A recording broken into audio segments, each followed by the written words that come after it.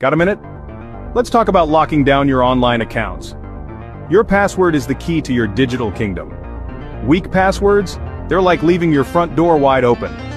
To build a fortress around your accounts, follow these tips. First, go long. A strong password should be at least 12, 16 characters. Mix it up. Combine upper and lowercase letters, numbers, and special characters. Avoid common words or personal info like your name or password 123. Second, be unique.